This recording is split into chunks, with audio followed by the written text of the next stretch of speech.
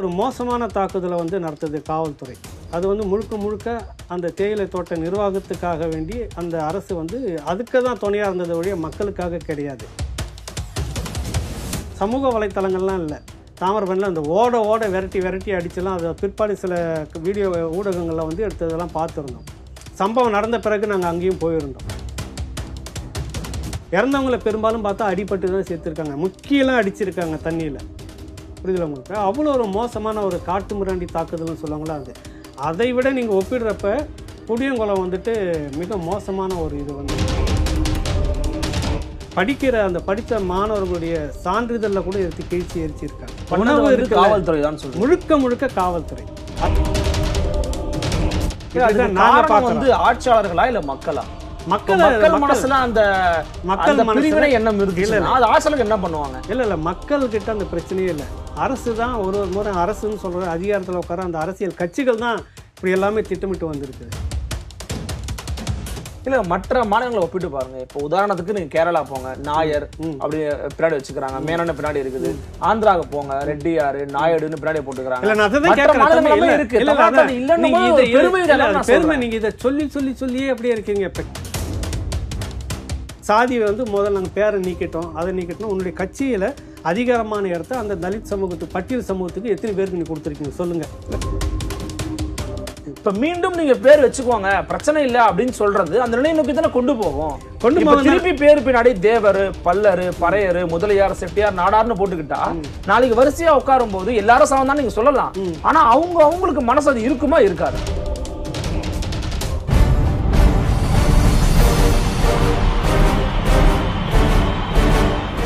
தமிழின் number one அரசியல் YouTube சேனலான ஆதன் தமிழ் நேர்களுக்கு அன்பு வணக்கங்கள்.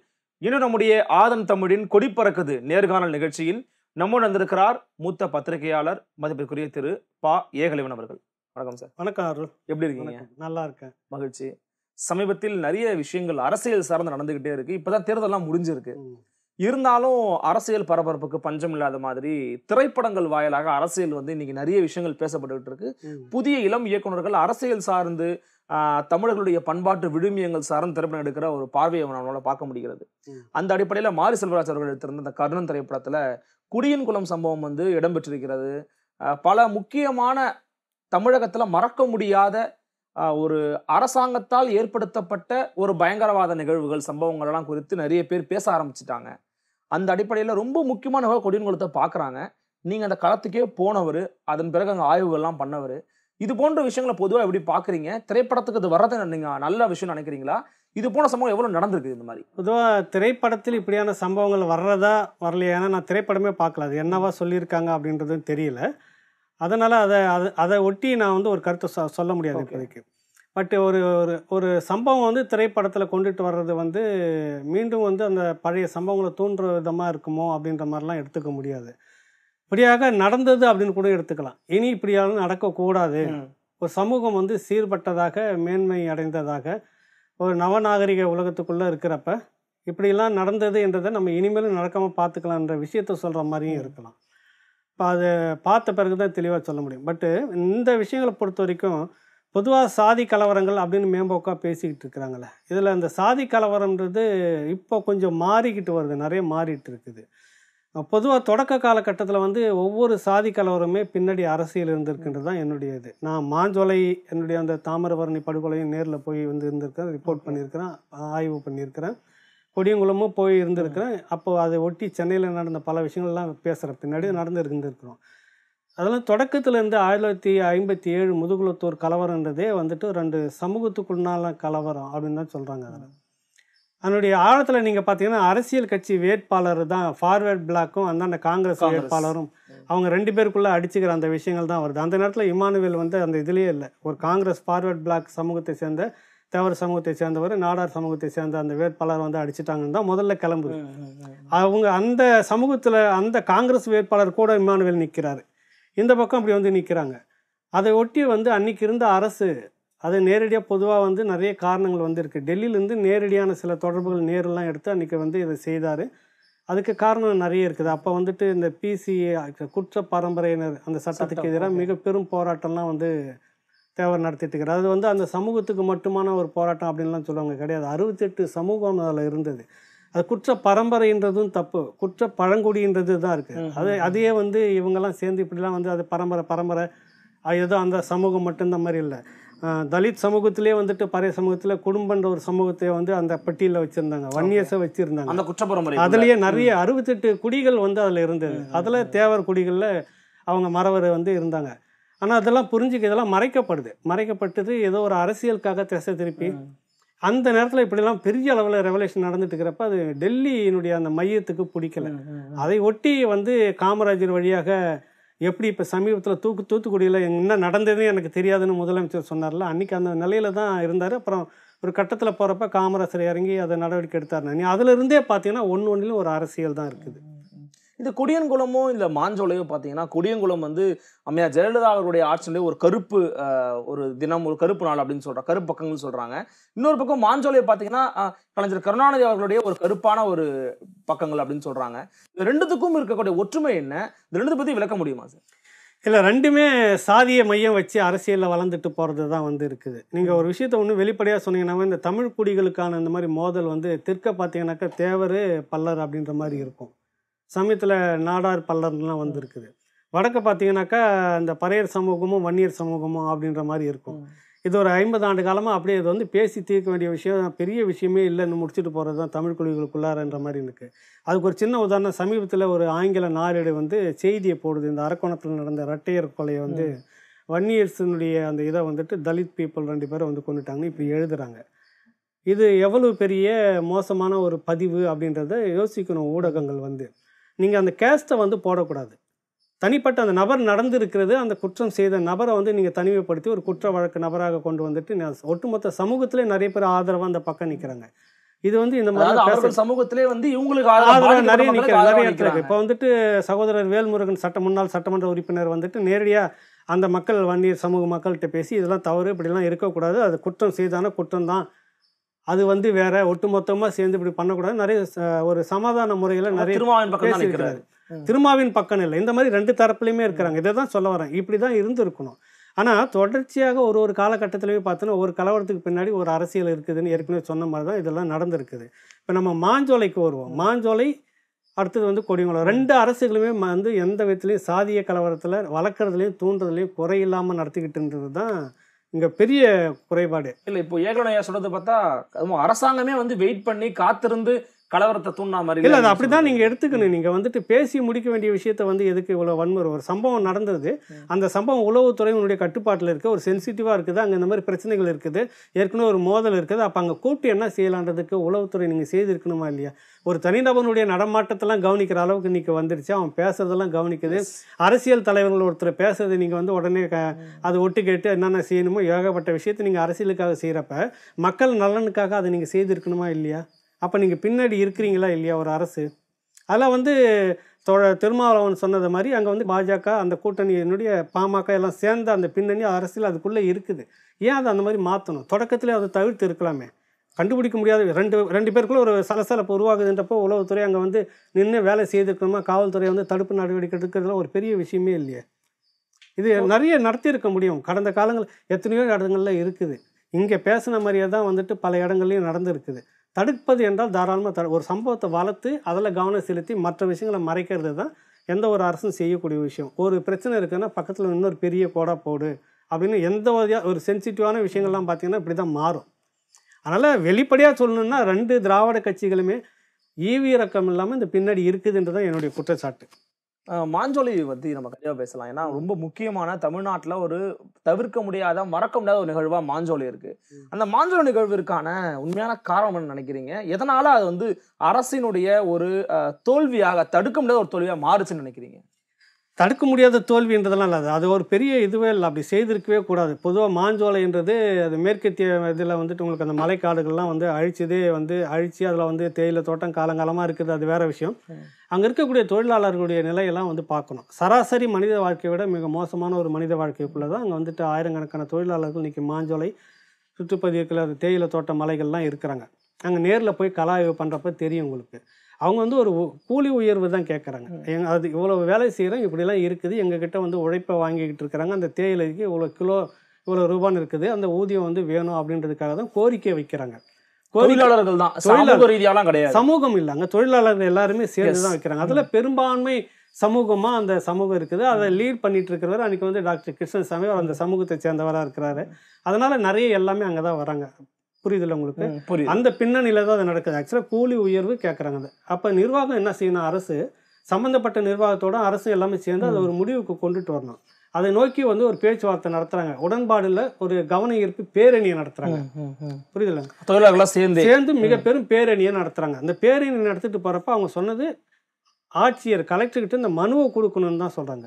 ஒரு குறிப்பிட்ட பிரதிநிதிகள் போய் மனுவை வந்து கொடுத்துடலாம் அப்படின்னு சொல்றதுல ஒரு பெரிய விஷயமே இல்லை. அவங்க ஒரு இதில் என்ன கெட்டு போகுது? கலெக்டர்ன்றது மக்களோட குறைகளை கேட்பதற்கும் நிவர்த்தி செய்வதற்கும் தான் இருக்கிறாரு. ஒரு திரளான மக்கள் கூடிட்டு இருக்கிறாங்க. பெரும் திரளான கூட்டம்.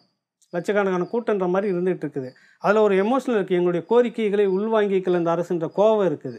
வெறுப்பு இருக்கு. ஆத்திரம் இருக்கு. இந்த நேரத்தில் சரி நீங்கள் வாங்கின ஒரு குறிப்பிட்ட டீமை மட்டும் நேராக நீங்கள் வண்டியில் ஏற்றி கலெக்டரேட் கொண்டு போய் மனு கொடுக்க வச்சிருக்கலாம். பிரச்சனை சுமூகமாக முடிச்சிருக்கலாம். ஆனால் அதை விட்டுட்டு தடியடி கூட்டத்தை கலைக்கிறன்ற பேரில் தடியடி நடத்தினது இருக்குல்ல அதுதான் பெரிய அளவில் மாறுது. அதில் ஒரு மோசமான தாக்குதலை வந்து நடத்துது காவல்துறை அது வந்து முழுக்க முழுக்க அந்த தேயிலை தோட்ட நிர்வாகத்துக்காக வேண்டி அந்த அரசு வந்து அதுக்கு தான் துணையாக இருந்தது வழிய மக்களுக்காக கிடையாது இல்ல அரசு வந்து இது வந்து என்னன்னா இந்த மக்கள் வந்து இப்படி பொங்கி எழ ஆரம்பிச்சிட்டாங்களே இப்படியே விட்டோம்னா ஒரு ஒரு கட்டத்துக்கும் வருவாங்களே அப்படின்ற அந்த சாதிய போக்கும் அங்க வந்து அந்த அரசுக்கு வந்து இருந்தது அரசுக்கு அரசு இருந்ததுன்றீங்களா? கட்டமைப்புக்கு இருந்தது.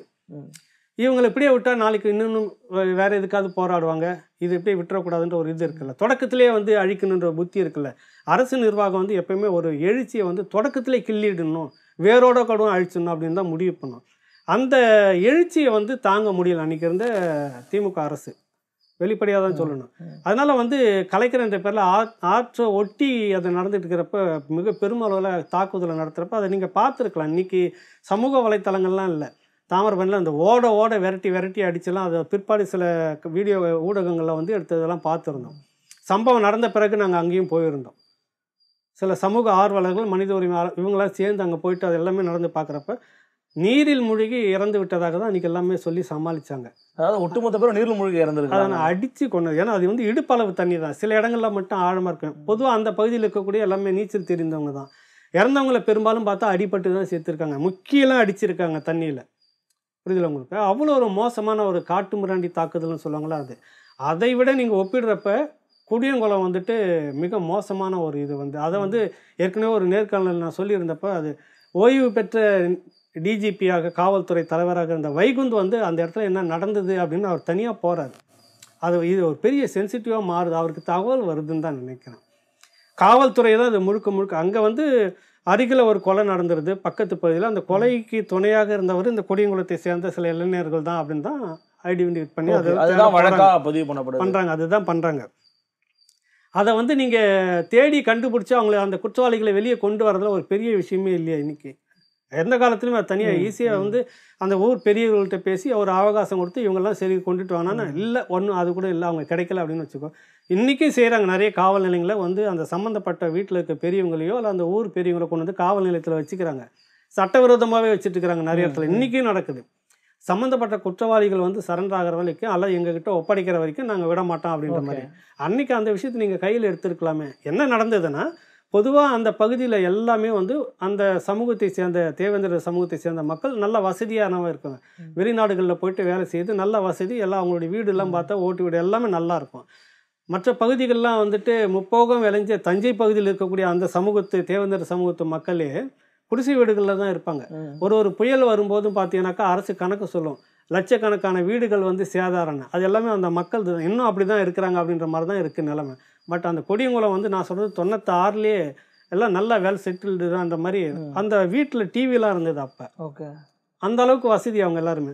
பொருளாதார ரீதியாக அந்த மக்கள் எல்லாருக்கும் உதவி பண்ணக்கூடியதாக. அப்போ ஒரு தன் இனம் சார்ந்து பாதிக்கப்படும் போது அங்கே போய் உதவி பண்ணுறது அவங்களுக்கு லீகலாக சில சப்போர்ட் பண்ணுறது அப்படியான விஷயங்கள்லாம் இருக்கிறப்ப இது எல்லாமே இந்த பக்கத்தில் ஒரு பெரிய பலம் வாய்ந்த ஒரு கூட்டம் இருந்துக்கிட்டு எல்லாருக்கும் சப்போர்ட்டிவாக இருக்கிறாங்க அப்படின்ற எண்ணம் தவறான தகவலாக உருமாறி ஆட்சியருக்கு வருது. இல்ல அதுதான். எனக்கு என்னன்னா இது இங்க வந்து ஆட்சியர் அந்த அதிகார மட்டத்தில் இருக்கிறவங்க செய்த பிழையா இதை பார்க்கணுமா? இல்ல முதலமைச்சரோ இல்ல கட்சி ரீதியாகவோ ஆட்சியினுடைய தலைமை ரீதியாகவோ பிழையா பார்க்கணுமா? எப்படி இதை புரிஞ்சுக்கிறது? இல்லை அதை வந்து ஆட்சியர்னு மட்டுமே எடுத்துக்க முடியாது. அரசு தரப்புலையும் நீங்கள் எடுத்துக்கணும். அரசுக்கு எந்த மதச்சார்போ சாதி சார்போ இருக்காது தானே? இருக்காது. ஆனா அந்த மாதிரி எந்த அரசுமே இது வரைக்கும் இல்லை. எந்த அரசு மத சார்பற்று சாதி சார்பற்று இருக்கு வேட்பாளர் நிறுத்துறப்போ நீங்க சாதி மதம்னு பார்த்து தான் நிறுத்துறீங்க ஒரு தொகுதியிலன்றப்ப அப்பவே அந்த கட்டமைப்பு வந்து அரசு சார்பு இந்த பின்னணியில தான் அந்த அரசு வந்து உட்காருது அப்புறம் எப்படி நாங்க வந்து சாதி மதங்களுக்கு அப்பாற்பட்ட அது பேப்பர்ல வேணா எழுதி நம்ம வாசிச்சுக்கலாம். ஒழிய நடைமுறையில வந்து சாத்த சாத்தியம் இல்லை. உங்களுடைய அந்த கட்சி அரசா உட்கார்றதுக்கு முன்னாடி இப்போ அண்ணா திராவிட முன்னேற்ற கழகமும் அதிமுகவோ கட்சியாக இருக்கிறது அதிகாரத்தில் வந்து உட்காருது ம், ம். ஆனா நீ உன்னுடைய வேட்பாளர்லாம் சாதிய கட்டமைப்பில் தான் நிறுத்துறீங்க. எங்கேயுமே சாதி மதத்துக்கு அப்பாற்பட்டு எங்கேயும் நிறுத்தினதே கிடையாது. அப்புறம் எப்படி நீங்க வந்து சாதி மதத்துக்கு அப்பாற்பட்டவர்னு சொல்ல முடியும்? அங்க நடந்த விஷயம் கொடியங்குளன்றது வேற. அவர் டிஜிபி வந்து சொல்றாரு பின்னாடி வந்து பேட்டி கொடுக்குறப்ப சொல்றாரு. அவருடைய முப்பது ஆண்டு கால காவல்துறை வரலாற்றில் இப்படி ஒரு மோசமான சம்பவம் நடந்ததே இல்லை. ஒரு மிக கொடூரமான தாக்குதல். சின்ன பண்ணமா பிச்சு எரிஞ்ச மாதிரி. படிக்கிற அந்த படித்த மாணவர்களுடைய சான்றிதழில் கூட எடுத்து கிழிச்சு எரிச்சிருக்காங்க. உணவு வந்து காவல்துறை தான் சொல்றேன் முழுக்க முழுக்க காவல்துறை. அதுல வந்து வேற சமூகம் வந்து அன்னைக்கு இல்லை. வேற சமூகம் வந்து போட்டி சமூகம் இப்போ இந்த தேவேந்தருக்கு எதிராக இருக்கக்கூடிய சமூகம்லாம் சேர்ந்து தாக்குனாங்கன்னா சரி அது ஒரு கலவரம் அப்படின்னு நீங்கள் சொல்லலாம். இது முழுக்க காவல்துறை மட்டுமே செய்த கலவரம். அதை வந்து பின்னாடியே வந்து சூப்பரிண்டென்ட் ஒத்துக்கொண்டதாக அவர் டிஜிபியே சொல்லியிருக்கிறார். அவருக்கு மனசு தாங்காம அந்த மக்களுக்கு நிவாரண உதவியை தனிப்பட்ட முறையில் திரட்டி அவர் அனுப்பியிருக்கிறார் அந்த இங்கே சென்னைக்கு வந்துட்ட பிறகு. ஏன்னா எதுவுமே இல்லை. திடீர்னு இருக்கிற உணவுகள்லாம் அடித்து வீதியில் போட்டு எல்லாமே எல்லாமே நாசமாக்கியாச்சு. குடிக்கிற கிணத்துல வந்து டீசலை ஊற்றி பூச்சி மருந்து ஊற்றி குடிக்க முடியாத அளவுக்கு பண்ணி நேர சேதமாக்கிட்டாங்க. அன்னைக்கு அந்த நேரத்தில் வந்துட்டு இதே இப்போ பத்திரிக்கையாளர் இருக்கக்கூடிய டிஎஸ்எஸ் மணி முன்னாள் ஐஏஎஸ் அதிகாரி கருப்பன் டாக்டர் கிருஷ்ணசாமி அப்போ ராமதாஸும் அதில் இருந்தார். இவங்க எல்லாமே அப்போ நீதிமன்றத்தில் ஒரு வழக்கு போட்டு இப்படி ஒரு துண்டிக்கப்பட்ட இடமா இருக்குது என்ன நடக்குன்னு தெரியல அவங்களுக்கு உணவும் இல்லை தண்ணி இல்லை அப்படின்னு ஒரு அவசர வழக்கு போட்டு குடிக்கிற தண்ணி அவங்களுக்கு கொடுக்கணுன்றதுக்காக ஒரு உத்தரவு அவசர உத்தரவு வாங்கிட்டு நீ அங்கே போகிறாங்க இவங்க. ஓ அப்போ இவங்க ஒன் ஃபார்ட்டி ஃபோர் போட்டிருக்கு உங்களை விட முடியாது அப்படின்னு சொல்லிட்டு அதே காவல்துறை திரும்ப மறிக்குது. ஐஏஎஸ் அதிகாரி வந்து அவர் கருப்பன் சொல்றாரு ஒன் ஃபார்ட்டி ஃபோர்னா எப்படி தெரியுமா என்னன்னு விசாரிச்சுட்டு நாங்கள் ஒரு நீதிமன்ற உத்தரவோட வரோம். இத்தனை பேர் தான் நாங்கள் இருக்கிறோம். மூணு பேர் தான் அந்த இடத்துக்கு நாங்கள் போக போகிறோம் ஆட்சியர்கிட்ட கொடுத்துட்டு அந்த மக்கள் பாதிக்கப்பட்ட மக்களுக்கு ஆதரவு சொல்லிட்டு வரணும். இதில் என்ன சென்சிட்டிவாக மாறிடும்? கலவரம் என்ன மாறிடும்? அப்படின்னு விவாதம் பண்ணி தான் அது போனாங்க. அது பிறகு அது அந்த தகவலும் நாங்கள் பின்னாடி வந்து அங்கே போகிறப்ப அறிஞ்சுக்கிட்டு அது பின்னாடி நாங்கள் தெரிஞ்சுக்கிட்டோம் இதெல்லாம் நடக்கிறப்ப அதை ஒட்டி சென்னையில் ஒரு பெரிய பேரணி நடக்குது. அந்த கொடியங்குள சம்பவத்தை ஒட்டி. ஒட்டி அந்த பே அந்த சம்பவம் சீரணி அரங்கன்னு நினைக்கிறேன். அங்கே நடக்கிறப்ப தான் இதே மாதிரி அப்போ இருக்கக்கூடிய அந்த மாதிரியான தகவல் அங்கே நடந்த அதே மாதிரி கலவரம் வந்து இங்கே வந்து அப்போ பிரபலமாக பேசப்பட்ட அயோத்தி குப்பம் ம். அவருடைய பிரபலமான ஒரு தாதான்னு சொல்லி கேள்விப்பட்டிருப்பீங்க வீரமணி அவரை தூண்டி விட்டு அவருடைய குழுக்கள் வந்து அங்கே தா அந்த மக்களை சொல்லவில்லை அவருடைய குழுக்கள் வந்து தாக்குதல் உள்ள நுழைஞ்சு பெரிய கலவரம் பண்ணி அதில் காவல்துறையும் சேர்ந்து வாகனங்களை அடித்து நொறுக்கியது பேரணியில் வந்தவங்களை அடிச்சது அப்படின்னு பேட்டியெல்லாம் கொடுத்தாங்க பின்னாடி. இங்கேயும் அதை ஒட்டி நடந்தது அப்போ இது எல்லாமே நீங்கள் பார்க்குறப்ப அரசு பயங்கரவாதம் இதை தான் சொல்ல வர்றது. அப்போ அதை நீங்கள் வந்து என்னென்னா அவங்களுடைய நோக்கம் இப்போ எப்படி இருந்தது? இந்த மக்கள் சுற்று வட்டார பகுதிகள் எல்லாமே வந்துட்டு இவங்க இருக்கிற அந்த செல்வாக்கு செல்வாக்கை வச்சு செழிப்பாக இருக்கிறத வச்சு ஒரு ஒற்றுமையை வச்சு பொருளாதாரத்தை பலத்தை வச்சு சுற்று பகுதியில் இருக்கக்கூடிய எல்லா இடத்துக்கும் போய் உதவி செய்துக்கிட்டு இருக்கிறாங்க. அதை சகிக்க முடியல அன்னைக்கு அப்படின்ற ஒரு க வந்து தவறான தகவலாக வந்து ஒரு சாதி பற்றாக மாறி அன்னைக்கு அப்படியான வந்தது. அது வந்து ஒரு தவறுன்றதை பின்னால் வந்து ஜெயலலிதா அவர்கள் உணர்ந்து உடனடியாக மாற்று நடவடிக்கைகள்லாம் எடுத்தார். பின்னாடி அந்த மாதிரியான சம்பவங்கள் வந்து இல்லை. இதுதான் வந்து கொடியங்குளம்ன்றது வந்து என்றைக்குமே மறக்க முடியாத ஒரு சம்பவம் அப்படின்னு சொல்கிறது அதுதான் அதனுடைய ஒரு பகுதியை வந்து எடுத்து படமாக்கி இருக்கிறதா நான் கேள்விப்பட்டேன். கர்ணன் படம் வந்து அதனுடைய அந்த அந்த நடந்த கலவரம் ஒடுக்குதல் கைது பண்ணுற விஷயங்கள் இப்படியான சம்பவங்களும் அதை ஒட்டி எடுத்து தான் சொல்லலாம். இன்னொரு விஷயம் நீங்கள் பார்த்தீங்கன்னா அந்த இயக்குனர் மாரி செல்வராஜ் வந்து புளியங்குடி பக்கம் அதே அந்த நெல்லை மாவட்டம் புளியங்குடி பக்கம்னு எண்பதுகளில் புளியங்குடியில் ஒரு சாதிய மோதல் வந்தது. புளியங்குடியில. புளியங்குடியில். அவர் சாதி முதல்ல அரச பயங்கரவாதம் அது வந்து சாதி ரெண்டு ரெண்டு இதுகளுக்குள்ளாக நடந்தது. ஐம்பத்தி ஏழுலேருந்து தென் மாவட்டங்கள்லையும் வட மாவட்டங்களையும் இப்படிலாம் நடந்துகிட்டு இருக்கு இதை விரிவாக நம்ம பேசணும் பின்னாடி. அவர் இருந்த அந்த ஊர் அவர் புளியங்குடின்னு நினைக்கிறேன் அவருடைய ஊர். அங்கேயே வந்து எண்பதுகளில் ஒரு கலவரம் வந்து அப்போ அவர் வந்து பிறந்திருக்கிறாரா இல்லை சின்ன பிள்ளையா இருந்திருக்கிறாரான்னு தெரியாது. நம்ம வயசு தெரியாது. அந்த கதைகளை கேட்டு அந்த கதைக்களமும் இதுக்குள்ளே வந்திருக்கலான்றது என்னுடைய என்னுடைய ஒரு யூகம். ஏன்னா அந்த போலீஸுடைய அடக்குமுறை எப்படிலாம் எல்லா இடத்துலையும் ஒரே மாதிரியாக தான் இருக்கும். எல்லா இடத்துலயும் ஒரே மாதிரி தான். கையில வந்து பயன்படுத்துவாங்க. அதுதான் இருக்கும். அப்போ அதில் பெரும்பான்மை இடமா அப்படின்னு காட்டுறது கொடியங்குளம் தான் அப்படின்னு எல்லாருமே பேசிட்டு இருக்கிறாங்க. கொடியங்குளம் வந்து ஒரு மறக்க முடியாத மாஞ்சோலை கலவரம் வந்து எப்படி இருக்குதோ அதில் ஒரு பகுதி. அந்த மாதிரி இது கொடியங்குளம் வந்துட்டு அவருடைய பொருளாதாரத்தை முற்று முழுதுமாக நசிக்கியது. திட்டமிட்டு. அதுலேருந்து அவங்க மீண்டு எழுந்து வர்றதுக்கு ரெண்டு மூணு வருஷம் அஹ், வருஷக்கணக்கா ஆச்சு அது வந்து. நிவாரணம் அவங்களுக்கான நிவாரணம் அரசு வந்து ஒதுக்குனது பிறகு அதுலேருந்து நிறைய ஒரு பகுதியாக வந்தது. அடுத்து வந்த திமுக ஆட்சியிலையும் ஒரு பகுதி நிவாரணம் அப்படின்ற பேரில் நீதிமன்ற உத்தரவின் பேரில் அவங்களுக்கு கிடைச்சது. எழுந்து நிற்க ரொம்ப காலமாச்சு அவங்களுக்கு. இல்ல அதே போல நீங்க இப்போ குடியங்குளம் நீங்க சொல்ல சொன்னது போலவே மாஞ்சோலையில மறக்க முடியாத நிகழ்வு அல்லது மறக்க முடியாத சம்பவம் நீங்க ஏதாவது சொல்ல முடியுமா? இல்லை மாஞ்சோலைன்றது கிட்டத்தட்ட இதே மாதிரி தான். உங்களுக்கு இது வந்து ஒரு ஊருக்குள்ளே நடந்த கலவரம். அது வெட்ட வெளியில் ஆற்றங்கரை ஓரத்தில் நடந்த தாக்குதல். அங்கே வந்து உங்களுக்கு பொருளாதார பாதிப்பு இல்லை. அந்த மக்களுடைய வீடுகளுக்குள்ளார போய் அவங்களுடைய பொருளாதாரத்தை சிதைக்கலை. திட்டமிட்டு அவங்களுடைய பள்ளி சான்றிதழ் கல்லூரி கல்வி படிச்சுட்டு இருக்காங்களா பள்ளி எல்லாத்தையுமே. கொளுத்தல. வீட்டில் இருக்கிற ரேஷன்லாம் எடுத்து ரோட்டில் போட்டு நாசமாக்கலை. ஏன்னா அவங்க அடுத்த வேலை சாப்பிடக்கூடாது இல்லை அப்போ வீட்டெல்லாம் உடைச்சி போட இப்படிலாம் அங்கே வந்து மாஞ்சோலையில் நடக்காது. அது வந்து வீதியில் நடந்து பெரிய ஒரு வன்முறையாக திட்டமிட்டு அரச வன்முறைன்னு சொல்கிறது அதுக்கு பேர் தான். அரச பயங்கரவாதம்னு சொல்கிறது அப்படி தான் அந்த விஷயத்தை அதை நடத்தி முடித்தாங்க அது வந்து தாக்குதல் அளவில் ஒன்று ஆனால் ஒப்பீட்டு அளவில் கொடியங்குளம் வந்து ஒரு மேஜர் ரோல் வந்து இருக்கிற இடம் அது. இது ரெண்டுமே அம்மையார் ஜெயலலிதாவுக்கும் சரி கலைஞர் கருணாநிதி அவர்களுக்கும் சரி எவ்வளவு ஒரு டிராபேக்கை ஏற்படுத்துச்சு? எவ்வளவு ஒரு பின்வாங்கலை ஏற்படுச்சுன்னு நினைக்கிறீங்க அவங்களுடைய அரசியல் வாழ்க்கையில? கொடியங்குளம் அந்த தாமிரபரணிக்கு பிறகு பிறகு வந்து அந்த மக்களுடைய வாக்கு வந்து கருணாநிதிக்கு கலைஞர் அரசுக்கு பெரிய ஒரு பாதிப்பை ஏற்படுத்தினது.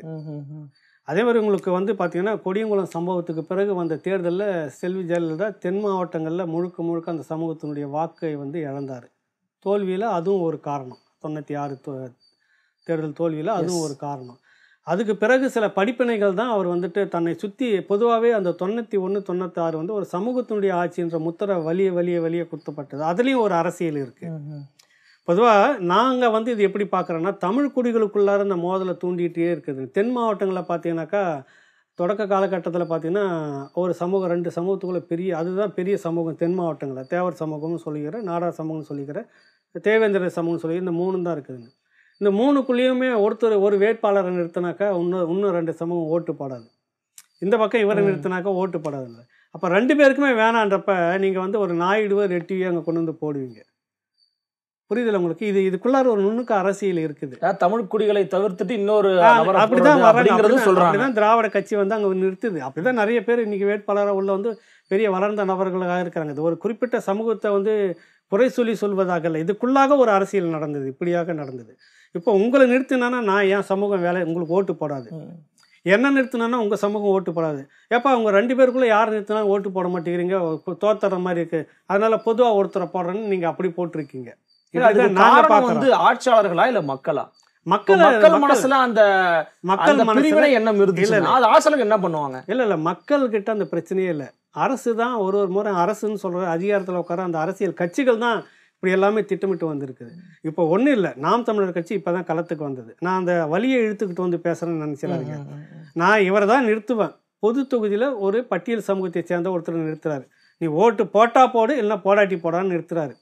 அந்த கட்சியில் இருக்கக்கூடிய மற்ற சமூகத்தை சேர்ந்த தம்பிகளும் தங்கைகளும் அந்த வேட்பாளருக்கு பட்டியல் சமூகத்து வேட்பாளருக்கு ஓட்டு கேட்டுன்னு போகிறாங்க எங்கேயும் அந்த மாதிரி பிரச்சனை வரலையே உங்களுக்கு? அதே மாதிரி அதிகாரத்துக்கு வந்தால் இப்படியான மோதல் நடக்குதுன்னா முதல்ல அவன் யாருன்னு கண்டுபிடிச்சி தனிமைப்படுத்தி உடனடியாக வழக்கை விசாரித்து தண்டனை மட்டும் இல்லை அவன் குடும்பத்துக்கு உண்டான ரேஷன் உள்பட மின் இணைப்பு குறிப்பிட்ட காலத்துக்கு வந்து அதை அது வந்து துண்டிச்சு வைக்கப்படும் ஏற்கனவே அவர் பேசியிருக்கிறார். இப்படியான கடுமையான சில நடவடிக்கைகள் இப்படியான விஷயங்கள் பாலியல் குற்றச்சாட்டு போதை மருந்து அதன் மூலமாக வர வரக்கூடிய வன்முறைகள் சாதி இது மூணுக்கெல்லாம் வந்து இந்த மாதிரியான விதிமுறைக்கெல்லாம் பார்க்கக்கூடாது. உடனடியாக விசாரித்து உடனடியான இந்த மாதிரி தடுப்பு நடவடிக்கை எடுத்தால் அடுத்தது வர்றதுக்கு வரும். என்ன நடக்குதுனாக்கா இது வருஷ கணக்கில் நடந்துக்கிட்டு இருக்குது. பல வருஷங்களுக்கு பிறகு தீர்ப்பு வரும். அதுக்குள்ளேயே அந்த சம்மந்தப்பட்ட குற்றவாளி ஹீரோவாக இருப்பார் இல்லை ஒரு அரசியல் கட்சியில் சேர்ந்து மிகப்பெரிய பெரும் ஒரு பிரபலமான அரசியல் தலைவராகவும் மாறிடுவார். அப்படி தான் நிறைய பேர் இன்னைக்கு இருக்கிறாங்க உங்களுக்கு. வேட்பாளர் பட்டியலில் பார்த்தீங்கன்னா நிறைய குற்ற வழக்கில் சம்மந்தப்பட்டவங்களாக தான் இருக்கிறாங்க இப்போ. இதை எதுக்கு சொல்ல வரேன்னா சாத்தியப்படுத்தணும்னா இந்த அரசுகள் வந்து இந்த அரசுன்னு சொல்ல முடியாது இந்த கட்சிகள் வந்து சாத்தியப்படுத்தியிருக்கலாம். ஆனால் சாத்தியப்படுத்துறதுக்கான அது வந்துடக்கூடாது. ஏன்னா எந்த சமூகமும் ஒன்றா இருக்கிற வரைக்கும் இவங்க வந்து அதிகாரத்தில் எதுவும் செய்துட்டு இருக்க முடியாது. புரியுதுல? அப்போ சிதைச்சி வச்சாதான் அவங்களுக்குள்ளாக எதுவுமே நீங்கள் எல்லாம் ஒன்றா இருந்து சேர்ந்து ஒரு பிரச்சனைக்காக ஒன்றா போர்க்குடி தூக்கி அரசுக்கு எதிரான கோரிக்கை வச்சு நீங்கள் ஜெயிச்சிட்டிங்கன்னா நீங்கள் கேட்டுட்டிங்கன்னா அது நடந்துருச்சுன்னா எவ்வளோ பெரிய சிக்கல் அரசுக்கு? அப்போ அது நடந்துடக்கூடாது நீங்களும் நானும் தனியாக இருக்கணும். அது சரிதான். நான் ஒப்பு ஒத்- ஒத்துக்கொள்றேன். ம். ஆனா ஒட்டுமொத்தமா தமிழ்நாட்டுல இருக்கக்கூடிய சாதிய மோதல்களுக்கு அல்லது ஒரு ஒரு சில முக்கியமான விஷயங்களுக்கு திராவிட கட்சிகள் மட்டும்தான் காரணம் சொல்லிட முடியுமா? இப்ப பேருக்கு பின்னாடி இருந்த சாதியை நீக்கினதுல திராவிட கட்சியினுடைய பங்கு இருக்கு அப்படின்னு சொல்றாங்க. ம். பல விஷ் சமத்துவபுரம் கொண்டு வந்ததா இருக்கட்டும் பல சாதி ஒழிப்பு விஷயங்களுக்கு முன்னெடுத்திருக்கிறாங்க தான். ம். ஆனா அவங்கள முற்றுமுழுதாக நிராகரிச்சிட முடியுமா சாதி ஒழிப்பு விஷயத்துல? சரியான கேள்வியை கேட்டிருக்கீங்க. திராவிட கட்சின்னு மட்டும் இல்லை காங்கிரஸ் முதுகுலத்தூர்லேருந்தே தொட்டு தொட தொட்டு தொடர்ந்துட்டு தான் வந்துட்டு இருக்குது காங்கிரஸினுடைய பின்னணியிலேருந்தே தான் இது நடந்துகிட்டு இருக்குது அறுபத்தி அந்த மாதிரியான குறைபாடுகளை சொல்லி தான் திராவிட கட்சி ஆட்சிக்கு வருது.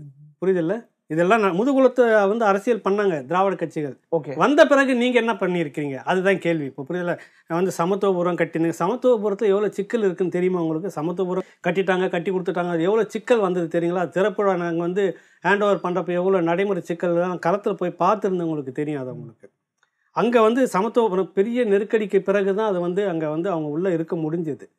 அதை கட்டிட்டதால மட்டும் அது நல்ல முயற்சி அது தானே? அது முக்கியமான தேவை தானே தமிழ்நாட்டிற்கு அது இப்போ இங்கே நகரத்தில் வந்து இருக்கீங்க இங்கே என்ன இதுவும் சமத்துவபுரம் மாதிரி தானே இருக்குது?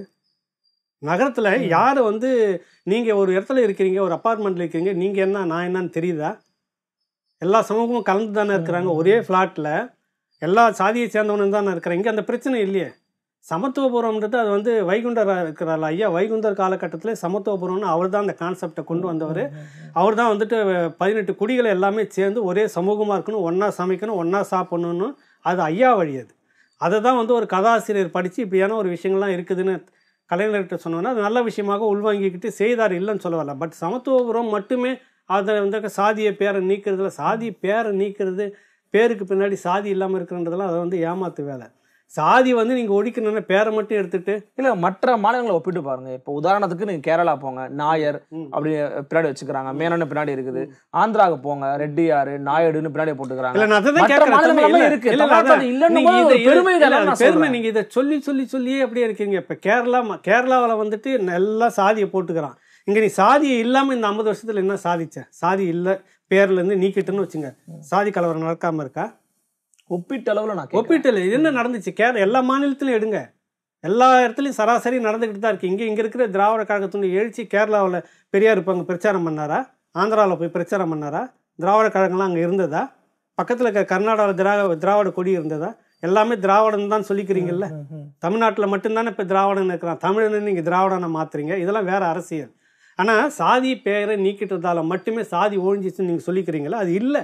உங்ககிட்ட அது மோசடின்ற சாதி. ஒழிப்பிற்கான ஒரு முன்னெடுப்பு தானே அது இல்ல சொல்றாங்க. என்ன நீங்க- முடியும்? நானும் ஒத்துக்கிறேன் இன்னும் இல்ல இன்னும் அந்த நம்ம தாண்டணும்னு நான் சொல்றேன். ஆனா அதுக்கான ஒரு முன்னெடுப்பா கூட நீங்க பாக்கலையா இல்லையே இப்போ கர்நா நீங்கள் தான் சொல்கிறீங்க கேரளாவில் எல்லாம் சாதி பேராக போட்டுக்கிறாங்க. அங்கே ஒரு பிற அங்கே ஒரு பிரச்சனை வந்து பெருசாக வெடிக்கலையே. எங்கே வெடிச்சது உங்களுக்கு? அரசியல் கேரளா கம்யூனிஸ்டத்தினுடைய அரசியல் வேறு மாதிரியில் வந்துக்கிட்டு இருக்கு. இப்போ இங்கே இருக்கக்கூடிய கம்யூனிஸ்டுகளுக்குள்ளே எல்லா சமூகமும் கலந்து இருக்கிறாங்களே. அவங்க வேட்பாளரை எப்படி நிறுத்துறாங்க? நீங்கள் வந்து திராவிட கட்சிகள் எப்படி வேட்பாளரை நிறுத்தி இருக்கிறீங்க என்ன மாதிரி கொண்டுட்டு வரீங்க? நீங்கள் சாதியை பார்த்து தானே தொகுதிக்குள்ளே நீங்கள் நிறுத்தி இருக்கிறீங்க எந்த அடிப்படையில் உங்களுடைய சரி எல்லாம் சொல்லிட்டு இருக்கிறீங்களே சாதியை பார்த்து கட்சிக்குள்ள நிர்வாக பொறுப்பில் யாரை வச்சுருக்கீங்க? சொல்கிறீங்கல்ல. சமத்துவம்ன்றீங்கல்ல சாதியை ஒழிக்கணும்னா கீழே இருக்கிற உங்களுக்கு ஒரு அதிகாரமான இடத்த கொடுத்துருக்கணுமா இல்லையா?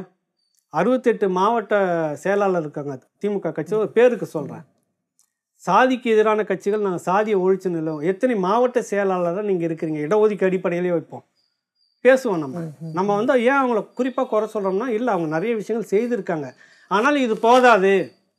இதை நீங்கள் சொல்லி நிறைய ஏமாத்திருக்கீங்க நிறைய மறைச்சிருக்கிறீங்க. தென் மாவட்டங்களில் ரெண்டு பகுதியை பிரித்து விட்ட அந்த மோதலையும் வட மாவட்டங்களில் ரெண்டு பகுதி பெரும்பகுதி இவங்க எல்லாருமே மற்றவங்களுக்குள்ளே வரப்போ பெரிய இஷ்யூ ஆகாது. குறிப்பாக அந்த நான்கு சமூகத்துக்குள்ள வடக்க ரெண்டு தெற்க ரெண்டுன்னு பிரித்து பிரித்து வச்சுக்கிட்டு இவங்க குளிர் காஞ்சிக்கிட்டு இருக்கிறாங்க.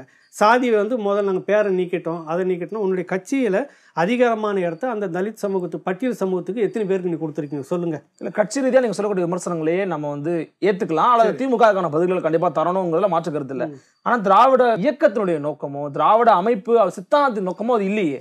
அது சாதி. தானே வந்து அது வந்து பெரிய விவாதமாக போகும் ம். அது ஒரு நாளைக்கு விவாதிக்கலாம். பெரியார் வந்து அவர் செய்தது அவருடைய பிரச்சாரம் எதையுமே அவர் கொள்கை அவருடைய கோட்பாடு இந்த மக்களுக்காக அவர் வந்து சொன்னது எதையுமே நான் வந்து மறுக்கலை. ஏற்கிறேன் பேசியிருக்கிறார். முரண்படல நீங்க. எதுவுமே. முரண்படலை. ஆனால் அதை சொல்லி அதிகாரத்துக்கு வந்தீங்கல்ல உட்காந்தீங்கல்ல கட்சிகள் என்ன ரீதியா நீங்க விமர்சனங்கள் செ- வைக்கிறீங்க. நீங்க என்ன செய்தீங்க இந்த ஐம்பது வருஷத்துல? மாறி மாறி வந்துகிட்டு இருந்தீங்க. இன்னும் அந்த அந்த அந்த தட்டு அப்படியே தானே இருக்குது. அந்த நிலைப்பாடு அப்படி தானே இருக்குது. இன்னைக்கு நீங்கள் வெளிப்படையாக பேசிக்கிறீங்க சாதி இல்லை நாங்கெல்லாம் ஒன்றா தான் இருக்கிறீங்க. அப்புறம் ஏன் மோதல் வருது? அப்புறம் ஏன் நீ நானும் நாங்கள் பிரிஞ்சுக்கிட்டு இருக்கிறோம். என்ன சொல்றாங்கன்னா மட்டும் தனியா இருக்கிறீங்க? தெரியாத வரலாறு கிடையாது. உங்களுடைய அனுபவம் வந்து ரொம்ப பெரியது. இரண்டாயிரம் வருடங்களாக படிந்து கிடக்கக்கூடிய சாதி அழுக்குகளை ஐம்பது ஆண்டுகள்ல எப்படி ஏன் நீங்க போக்கலன்னு கேட்கறது. ஒரு தர்க்கமான வாதமா அது முதல்ல இந்த ரெண்டாயிரம் வருஷம் ரெண்டாயிரம் வருஷம் சொல்லிட்டு திரியிறாங்க பாரு இதுதான் வந்து. இந்த மக்களை நாங்கள் இப்படியே இருக்கிறோம் தாழ்த்தப்பட்ட மக்களை ரெண்டாயிரம் வருஷமாக உங்களை இப்படி இந்த சிந்தனையில் அவனை அந்த தாழ்மை எண்ணத்துக்குள்ளேயே வச்சுட்டு இருக்கிறீங்க பாரு. அது பெரிய மோசடித்தனம்னு சொல்லலாம். இன்னும் சொல்லப்போனால் வெளிப்படையாக அயோக்கியத்தனம்னு சொல்லலாம். ஆனால் இந் எங்கே ரெண்டாயிரம்? கிபி பன்னிரெண்டாம் நூற்றாண்டு வரைக்கும் இந்த சமூகம் இப்படி இல்லைன்றதுக்கான ஆதாரம் நிறைய இருக்குது. புரியுதுல உங்களுக்கு? பன்னிரெண்டாம் நூற்றாண்டு வரைக்கும் இந்த குடிகள் எல்லாம் இப்படி தான் இருந்துக்கிட்டு இருந்தான் அவன் செய்கிற வேலையை வச்சுட்டு சாதியை போக்கு அங்கே ஏற்றத்தாழ்வுலாம் இல்லை. பன்னெண்டாம் நூற்றாண்டு வரைக்கும் இந்த பட்டியல் சமூகம்னு சொல்லக்கூடியவங்க எல்லாம் ஆண்டவங்களா ஒரு அதிகாரத்தில் இருந்தவங்களா தான் இருந்திருக்கிறாங்க. விஜயநகர பேரரசனுடைய படையெடுப்பு வருது. அந்த காலகட்டத்தில் உங்களுக்கு வந்துட்டு ஆதி சங்கருடைய அந்த வைணவம் சமணத்துக்கு எதிராக சமணம் புத்தத்துக்கு எதிராக அதை வீழ்த்திட்டு வைணவம் சைவம் வருது. இது வர்றப்ப அந்த அதெல்லாம் உள் வாங்குறாங்க அது. உங்களுக்கு விஜயநகர பேரரசனுடைய கட்டமைப்பும் இங்கே இருக்கக்கூடிய தமிழர்களுடைய பேரரசு கட்டமைப்பும் வந்து வேற வேற மாதிரி இருந்தது. இங்கே அந்த மாதிரி கிடையாது. அங்கே அந்த மனு தர்மத்தின் அடிப்படையில் இருக்கக்கூடிய சாதிய படிநிலைகளோடு அவன் ஆட்சி செய்துட்டு இருந்தான் விஜயநகர பேரரசு. அவன் வந்து பதிமூணாம் நூற்றாண்டில் உள்ள நுழையிறான் முழுக்க பிடிச்சிக்கிட்டு வரான் அப்படியே அது பிறகு தான் எங்கள் எல்லாமே மாறுது. ரெண்டாயிரம் வருஷம். யாரை ஏமாத்திட்டு இருக்கிறீங்க ரெண்டாயிரம் வருஷம். ரெண்டாயிரம் எத்தனாயிரம் வருஷம். நீ படிச்சில்ல முற்போக்கா இல்லை வளர்ந்து இல்லை நீங்க இவ்வளோ வளர்ந்து இருக்கிறீங்களா? ஒன்றும் நீங்கள் ரெண்டாயிரம் வருஷத்துன்னு சொல்லிட்டு எங்களுக்கு ஐம்பது வருஷம் போதாது. என்ன சொல்லி நீங்கள் வந்தீங்க முதல்ல? சரி ஒரே ஒரு உதாரணம் சொல்கிறேன் இது வந்து உங்களுக்கு வியப்பாக இருக்கும். உன் பக்கத்தில் தான் இருந்துச்சு ஈழம்.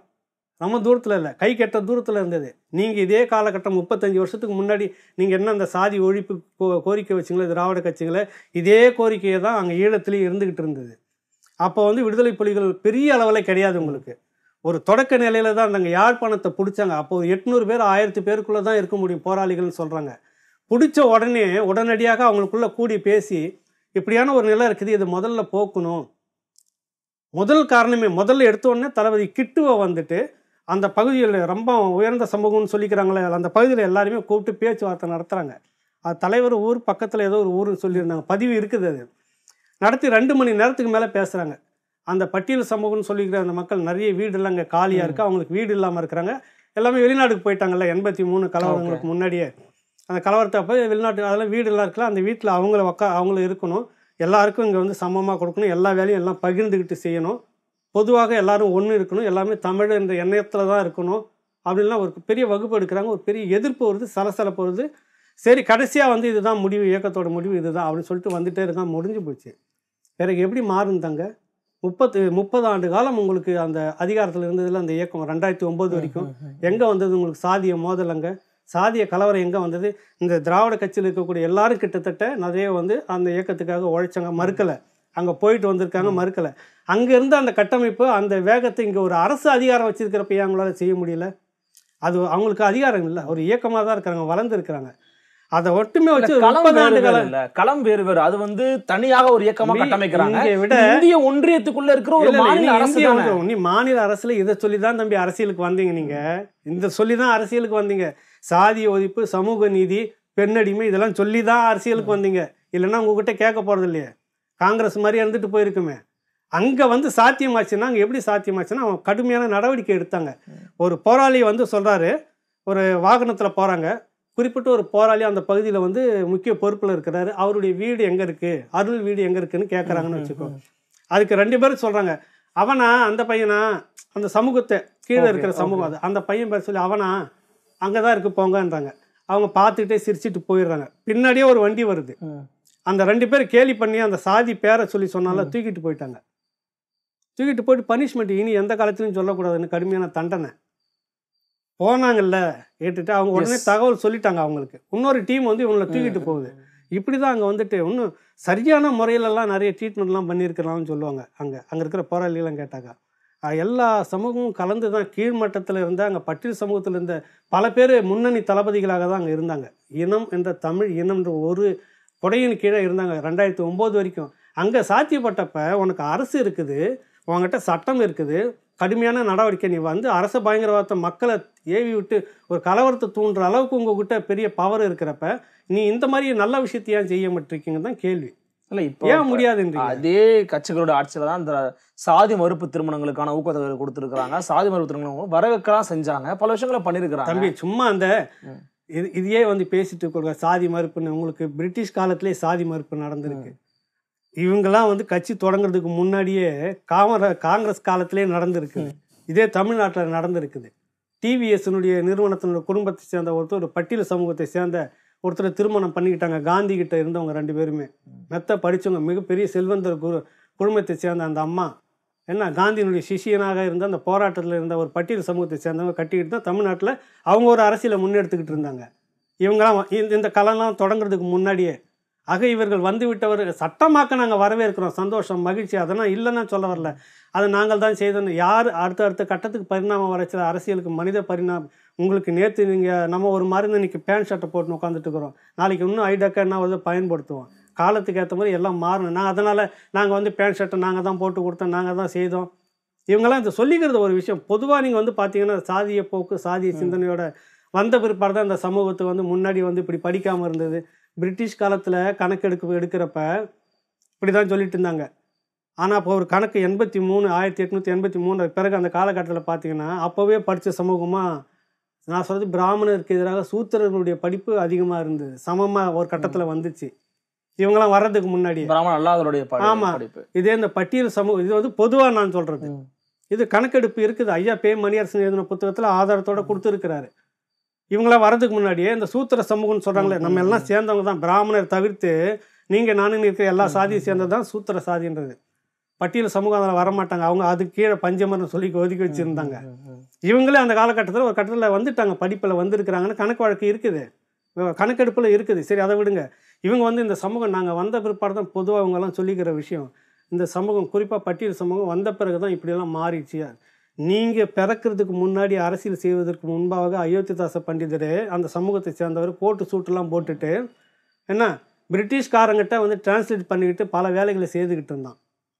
நீங்கள் பிறக்கிறதுக்கு முன்னாடியே ஐய ரட்டமலை சீனிவாச தாத்தா ரட்டமலை மிகப்பெரிய கல்வியாளராக இருந்துட்டு பிரிட்டிஷ் அங்கே வெள்ளக்காரங்க நடத்துகிற பேச்சுவார்த்தையில் கோட்டும் சூட்டும் போட்டுன்னு கை கொடுக்கிட்டு பேச்சுவார்த்தை. நடத்திக்கிட்டு இருந்தான் கல்வியாளராக இருந்தான் பத்திரிக்கை நடத்திக்கிட்டு இருந்தான் அப்போ எப்படி நீங்கள் வந்து நாங்கள் வந்த பிறகு தான் கல்வியை கொடுத்துன்னு எப்படி சொல்ல முடியும் இது வந்து. இது வந்து நான் செய்திங்க நான் இல்லைன்னு மறுக்கல பட் இதை. சொல்லி சொல்லி சொல்லி அவங்கள வந்து ஒரு மன உளைச்சலுக்குள்ள அந்த சமூகத்தை எவ்வளோ விடுபட்டு வெளியே வருவதற்கான எத்தனை அந்த சமூகம் வேற வேற சமூகத்தில் இருக்கக்கூடிய இளைஞர்கள் எல்லாம் இன்னைக்கு ஒன்றா சேர்ந்து ஒன்றா ஒரு குடையின் கீழே இருக்கணும்னு நிறைய சிந்தனைக்கு மாறி வந்துட்டாங்க இது பின்னாடி இருக்கக்கூடிய அரசியல் கட்சிகள் அரசியல் ஆதாயத்துக்காக செய்கிற விஷயத்தை தான் நாங்கள் சொல்கிறோம் அதில் இவர்களும் வந்துட்டு நாங்கள் வந்து இப்படி இருந்தாங்க நாங்கள் வந்து இப்படி மாற்றுறோம் நாங்கள் வந்து இது வந்து மறு கலப்பு திருமணத்துக்கு இப்படி செய்தோம். இதெல்லாம் வந்து சொல்லிக்கிற விஷயம் மாதிரி இல்லை. சட்டம் இது இல்லை. நிச்சயமா ஒரு நீண்ட நெடிய பல விஷயங்களை குறித்து பேசியிருக்கீங்க. இறுதியா ஒரு கேள்வி. முதுகுலத்தூர் தொடங்கி நம்ம இன்னைக்கு அரக்கோணம் நிகழ்வு பார்க்கிறோம். அது இந்த விஷயங்கள் வரைக்கும் சாதி ரீதியான விஷயங்கள் இது போன்ற மன கசப்புகள் இல்லாத ஒரு சமூகமாக முகிழ்த்தெடுக்கணும் அப்படின்னா இன்றைக்கு தமிழ்நாட்டிற்கும் தமிழ் இளைஞர்களுக்கும் தேவையான விஷயம் என்ன நினைக்கிறீங்க நீங்க? இல்லை இப்போ தமிழ் இளைஞர்கள் வந்து கிட்டத்தட்ட அந்த எண்ணத்துலேருந்து கொஞ்சம் மாறி வந்துகிட்டு இருக்காங்க. தொண்ணூத்தஞ்சு சதவீதம்னு கூட சொல்லலாம். தொண்ணூறு சதவீதம். குறிப்பிட்ட சில சிலர் மட்டும் அந்த எடுக்கிற அந்த விஷயத்தில் ஒட்டுமொத்த அந்த சமூகம் முழுக்க வன்னியரில் யாரோ ஒருத்தர் செய்யக்கூடிய அந்த வன்னியர் சமூகம் முழுக்க அது பொறுப்பேற்கிறதுன்றது மிகப்பெரிய குற்றம் அது. அப்படி செய்யக்கூடாது பேசவும் கூடாது. ஏன்னா அந்த சமூகத்திலே நிறைய நல்லவர்கள் இருக்கிறாங்க. ஐயோ இதெல்லாம் தப்பு இப்படிலாம் இருக்கக்கூடாது அப்படின்னு சொல்லிட்டு இந்த பக்கம் பட்டியல் சமூகத்திலையும் சரி இல்லை வேற ஏதோ சமூகத்திலையும் குறிப்பிட்ட சில பேர் அந்த மாதிரி ஒரு இது செய்தறதால ஒட்டுமொத்தமாகவே குற்றமாக பழைய. மாறுது. தனிப்பட்ட அவர்களை மட்டும் தனிமைப்படுத்தி அதை வழக்கு முடிச்சு உடனடியாக விரைவான தண்டனையை கொடுத்து இனி வருங்காலத்தில் இந்த இந்த மாதிரியான விஷயங்கள் நடக்கக்கூடாதுன்றதுக்காக கடுமையான சட்டங்களை நீங்கள் தனியாக நிறைய கொண்டுட்டு வரலாம். அந்த குடும்பத்தை மட்டுமே அடுத்த ஒரு ஐந்து ஆண்டு காலத்துக்காக அவங்களுக்குலாம் வந்து வேலையே கிடையாது அரசு வேலையே கிடையாது. நீ படிச்சிருப்பீங்க உன் குடும்பத்தில் இன்னொருத்தர் இருப்பல அது குடும்பமும் சேர்ந்து பாதிக்கணுமா? அப்படின்லாம் சில பேர் கேட்டாங்க. ஒரு முறை அந்த மாதிரி நடக்கட்டுமேன்றான் எத்தனையோ அநீதிகள் நடக்கிறப்ப இது ஒரு அநீதியாக கூட வைங்க. நீங்கள் ஒரு முறை அந்த மாதிரி கடுமையான நடவடிக்கை எடுத்தீங்கன்னா அடுத்த முறை பயப்படுவான். ஆனால் நீங்கள் கடுமையான சட்டம் எங்கேயும் எடுத்த மாதிரி தெரியல. இன்றைக்கி அந்த பக்கத்துலேயே ஒரு அரசியல் தான் நிற்கிது உங்களுக்கு. அங்கே வந்து என்ன நடந்தது? அரக்கோணத்தில் அதிமுக பாமக அது ரிசர்வ் தொகுதி தனி தனி தொகுதி. அங்கே நிற்கிற அதிமுக வேட்பாளரும் ஒரு பட்டியல் சமூகம் தான் திமுகவில் நிற்கக்கூடிய வேட்பாளரும் பட்டியல் சமூகம் தான் அந்த பட்டியல் சமூகத்தை சேர்ந்தவருக்கு தான் பாமக ஓட்டு கேட்டுக்கிட்டு வருது. அதில் அவங்களுக்குள்ள மோதல் உள்ளே வரக்கூடாதுன்னு. இதை ஒட்டி வந்து அந்த பையன் வந்து இவனுக்கு இவ்வளோ இதுவாச்சா அப்படின்னு கேட்டு அடிக்கிறான். அங்கே ஒரு அரசியல் உள்ளே இருக்குது இல்லை அப்புறம் ஏன் அது சமூகமாக மாறுது? புரியுதுல்ல உங்களுக்கு? ஓகே. அதை அது மாதிரி மாற்றக்கூடாதுன்னு சொல்லிட்டு தலைவர்களும் இன்றைக்கி மாறி இருக்காங்க. வேல்முருகனை பாராட்டலாம். இந்த பக்கம் பழைய மாதிரியெல்லாம் இல்லை. தொல் திருமாவளவன் முனைவர் வந்துட்டு இப்போ நிறைய விஷயங்களை வந்து அவருடைய கட்சியிலே எல்லா சமூகத்தை சேர்ந்தவரும் உள்ளே இருந்துகிட்டு இருக்கிறாங்க. நிறைய முறை ஒரு கடுமையான தாக்குதல்லாம் அவர் மேலே நிறைய பேர் வீசி இருக்கிறாங்க வார்த்தைகள் வந்து ரொம்ப மோசமான வார்த்தைகள் மீசி இருக்கிறப்ப கூட வந்துட்டு நிதானமாக தான் அவர் வந்து அடி எடுத்து வச்சிருக்கிறாரு. பழைய தொடக்க காலத்துல இருந்த தொல் திருமாவளவன் இல்லை அந்த. பேச்சிலையும் இல்லை.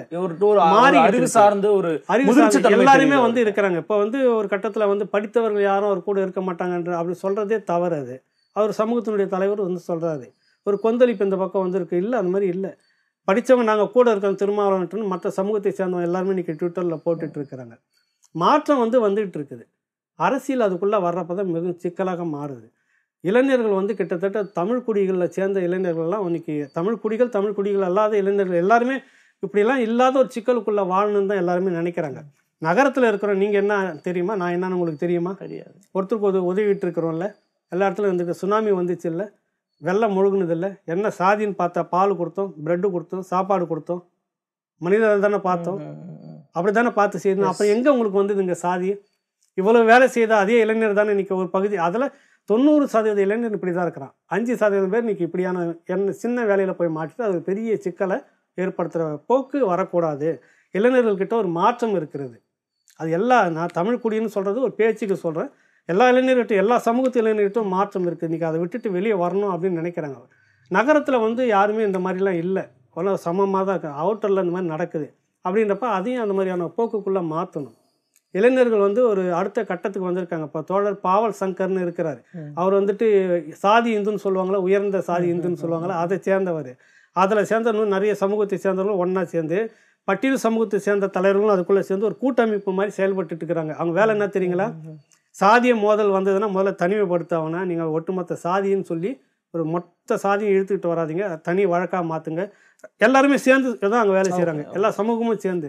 அப்போ இங்கே வந்து ஒரு மோ- சாதிய மோதல் வந்துடக்கூடாதுன்னு ஒரு பெரிய கலப்பணியை செய்துட்டு இருக்கிறாங்க மல்லத்தின்னு ஒரு பெரிய வழக்கறிஞர் தென் மாவட்டங்களில் இருக்காங்க. பெண் பெண் தான் அவங்க. லேடி தான். அவங்களும் இந்த கூட்டமைப்புக்குள்ள தான் இருக்கிறாங்க. தேவேந்திர சமூகத்தை சேர்ந்தவர் இவர் தேவர் சமூகத்தை சேர்ந்தவர். வெளிப்படையாக சொல்கிறோமே எல்லாம் ஒன்றா இருக்கிறதால சந்தோஷமாக பேரை சொல்லிக்க முடியுதுல்ல. இப்போ அங்கே நீங்கள் வந்து மற்ற மாநிலங்கள்லாம் நாயர் அவங்க இவங்களாம் பேர் எல்லா இடத்துலையுமே பேர் தான் இருக்குதுன்றீங்கல்ல. இப்போ நீங்கள் அங்கே பேர் பார்க்குறப்ப அங்கே பேர் வச்சுட்டு அருவாலை தூக்கி நான் சுற்றிட்டு இருக்கிறேன் அவங்களுக்கு நீங்களே தான் பாருங்க திராவிட கட்சி சேர்ந்த நாடாளுமன்ற உறுப்பினர்கள் போகிறீங்க வெங்கையா நாயுடை வந்து நீங்கள் வெங்கையான்னு எப்போனா பேரை சொல்லி கொடுத்து கூப்பிட்ருக்கீங்களா எஸ் மிஸ்டர் நாயுடு அப்படின்னு தான் சொல்லி பார்க்குறீங்க மரியாதையாக பேசிட்டு இருக்கீங்களே? அந்த போக்கு இங்கே கொண்டுட்டு வாங்களேன். இங்கே என்ன குறைஞ்சி போகுது உங்களுக்கு? இங்கே மட்டும் வந்து சாதியை நாங்கள் நீக்கிடும் நீங்கள் டெல்லிக்கு போனால் சாதி பேரை சொல்லி தான் நீங்கள் எப்பயாவது சீதாராம் யெச்சூரி யார்? அது சாதி பேர் தானே. இல்ல அது வரைக்கும் நான் அதாவது நீங்க சொன்ன விஷயங்கள் வரைக்கும் நான் அது-. இருந்துட்டு மீண்டும் நீங்க- அப்படி இல்ல. சொல்றது கூப்பிடுறதுல அது இல்ல. அது ஒரு- இஷ்யூவாக இல்லை. அது ஒரு பிரச்சனை இல்லை. அவன் பேரை வச்சுட்டு இருக்கிறான் பக்கத்தில் பேர் இருந்துட்டா இருந்துட்டு போகட்டும். அங்கே எல்லாம் ஒன்றா தானே இருந்துட்டு இருக்கிறான். ஒன்றா தானே நீங்கள் போய் பேசுறீங்க. அங்கே அந்த முரண்பாடு வரலையே உங்களுக்கு? அங்கே போய் என்னதான் இருந்தாலும் அது ஒரு சாதிய மனநிலை தானே? நீங்க சாதியை- பிரச்சனை வரலன்னு சொல்றீங்க அந்த சாதியை பிரச்சனை உருவாக்கப்பட்ட சூழல் உருவாகாதுன்னு இல்ல யார் சொல்ல? வரேன். அந்த சாதியை வச்சுக்கிட்டு நீ உயர்ந்தவன் நான் தாழ்ந்தவன் பேசுறல்ல அதுதான் தப்புன்னு சொல்ல வரேன். அந்த. நிலை வரக்கூடாதுன்றது அந்த நிலை ஏற்கனவே இருந்திருக்குது. இப்ப மீண்டும் நீங்க பேர் வச்சுக்கோங்க பிரச்சனை இல்ல அப்படின்னு சொல்றது அந்த நிலையை நோக்கி தானே கொண்டு போகும் கொண்டு இப்ப போக திருப்பி பேர் பின்னாடி தேவர் பல்லரு பறையரு முதலியார் செட்டியார் நாடார்னு போட்டுக்கிட்டா நாளைக்கு வரிசையா உட்காரும் போது எல்லாரும் சமம் தான் நீங்க சொல்லலாம். ஆனா அவங்க அவங்களுக்கு மனசு அது இருக்குமா இருக்காதா? இருக்குன்றது அப்போ தொண்ணூறு சதவீத பையன் மாறிக்கிட்டு இருக்கிறான்னு சொல்கிறோம்ல மீதி அஞ்சு சதவீதத்தை மாற்ற முடியாதுன்றது இருக்குதுல்ல அது அதை தான் நாம் பேசணும் இப்போ. நீங்கள் வந்து மற்ற மாநிலங்கள்லாம் அது பெரிய பிரச்சனையாக இல்லைன்றப்ப இங்கே மட்டும் அது பிரச்சனை பேரை எடுத்துருங்கன்றதுல நான் அது இல்லை. அது வேற ஒரு மோசடி அதுக்குள்ளே இருக்குது. அது ஒரு நாளைக்கு ஆனா விரிவாக எடுத்ததை நீங்க வரவேற்கிறீங்களா நான். எடுத்ததை வரவேற்கிறேன். ஆனால் அது எடுக்கிற வரைக்கும் வந்து சாதி பிரச்சனை இருந்துகிட்டு இருக்கு. நாங்கள் எடுத்ததால வந்து இல்லைன்றது ஏமாத்து வேலை எடுத்துட்டுன்னு சொல்றீங்கல்ல. ஏன் நீங்க வேட்பாளர் சாதி பார்த்து போட்டுன்னு வரீங்க எல்லா இடத்துலயும்? அது நியாயமான அதுதான் நான் கேட்கலாம். அப்ப நீங்க எடுத்ததே நீங்க நீங்க நான் சொல்லவே இல்லையே. பிற்போக்கு அது இருக்குது ஒழிக்க முடியலன்றீங்களா சாதியை அதை விட்டுடுங்கன்றேன். சமத்துவத்தை பேசுங்கன்றேன். எல்லாரும் ஒண்ணுன்னு பேசுவோன்றேன். அந்த முரண்பாட்டை வந்து பெருசாக்காதீங்க. அதை நோக்கி சமத்துவத்துக்கு வருவோம்னு நம்ம சொல்ல வரோம் இதுதான் நான் சொல்ல வரணும் வழி அவங்க சாதி பேரை நீக்கினது தப்புன்னு நான் சொல்லவே வரல. ஆனால் அதை சொல்லிக்கிட்டே ஒரு பக்கம் நீங்கள் நடத்துகிற விஷயங்கள்லாம் முரண்பாடு உள்ளது. தப்பு அப்படின்னு நம்ம பேச வரோம் நிச்சயமா. தமிழகத்தினுடைய ரொம்ப முக்கியமான பிரதான இந்த அரசியல் ரீதியாக நட நடைபெற்ற படுகொலைகள் பற்றியும் அந்த விஷ நம்ம சம்பவங்கள் பற்றியும் பேசியிருந்தீங்க. ரொம்ப நெடிய உரையாடலாகவும் இருந்துச்சு. சாதி ஒழிப்பை நோக்கிய தற்கால இளைஞர்கள் எதை பின்பற்றணும் அப்படிங்கிறத நோக்கி உங்களுடைய பார்வையில் முன் வச்சிருந்தீங்க. ஒரு மூத்த ஊடகவாளராக எங்களோட வந்து இந்த வருகையினையும் கருத்தை பகிர்ந்ததுக்கு மிக்க நன்றி. நன்றி ஆதன் தமிழ் அருள். ஒரு நல்ல விவாதம் இது. பொதுவாக சாதிய முரண்பாடு இருந்தாலும் வந்து அதில் சமத்துவமாக இருக்கணும் அப்படின்றது தான் காலங்காலமாக எல்லாரும் விரும்பிட்டு இருக்கிறாங்க. இன்றைக்கி இருக்கக்கூடிய இந்த தலைமுறையில் தொண்ணூறு சதவீதம் தொண்ணூத்தஞ்சு சதவீதம் கூட நல்ல நிலையில் தான் இருந்துகிட்டு இருக்கிறாங்க. மக்களும் அப்படி தான் இருக்கிறாங்க. அரசியல் காரணங்கள் வேறு வேறு காரணங்களெல்லாம் சேர்ந்து ஒரு ஐந்து சதவீதம் இப்படியான குழப்பங்கள் இப்படியான விவாதத்தை வந்து கொண்டு வந்து நிறுத்தக்கூடிய சூழல் இனி வருங்காலத்தில் குறையணும் அப்படின்றத அந்த கோரிக்கையோடு இந்த- நேர்காணல் நிறைவு செய்கிறேன். நன்றி வணக்கம். நன்றி. நன்றி நண்பர்களே மீண்டும் ஒரு கொடிப்பறக்குது நேர்காணல் நிகழ்ச்சியில் மற்றும் ஒரு சிறப்பு தலைப்பில் இன்னொரு சிறப்பு ஆளுமையோடு சந்திக்கிறேன். அதுவரை உங்களிடமிருந்து விடைபெறுவது உங்கள் அருள்மொழிவர்மன். இணைந்திருங்கள் இது உங்கள் ஆதன் தமிழ்.